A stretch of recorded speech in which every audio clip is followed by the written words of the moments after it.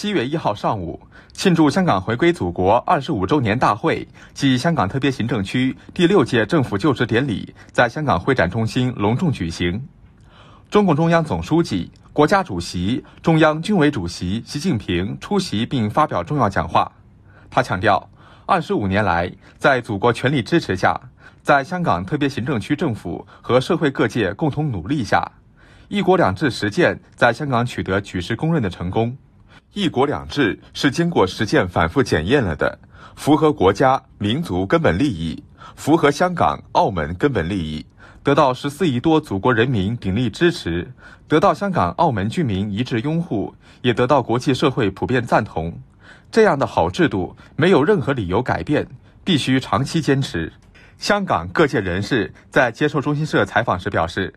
习近平主席的重要讲话体现了中央对香港的高瞻远瞩与关心厚愛，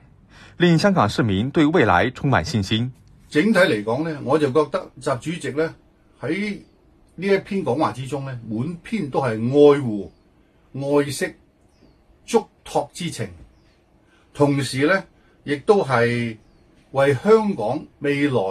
嘅發展，特別係未來五年呢嘅發展路徑。同埋咧發展嘅藍圖咧，係作出重要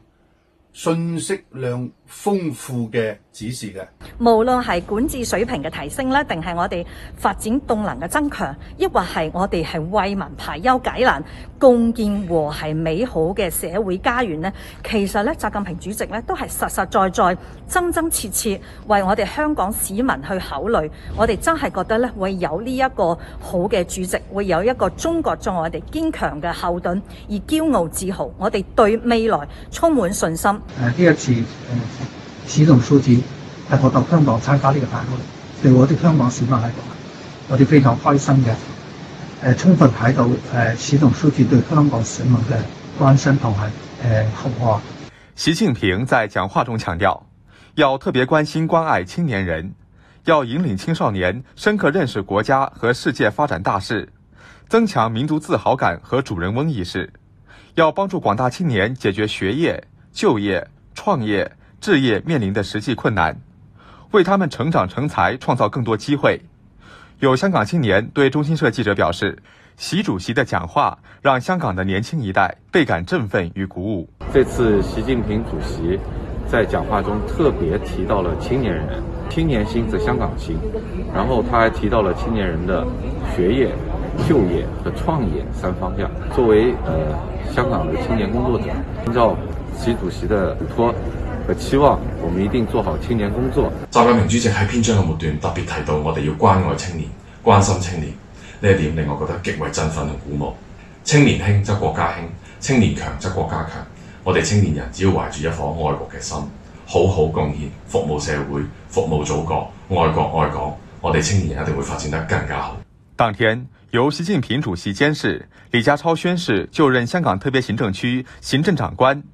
随后，由习近平主席监视，香港特别行政区第六届政府主要官员在李家超带领下宣誓就职。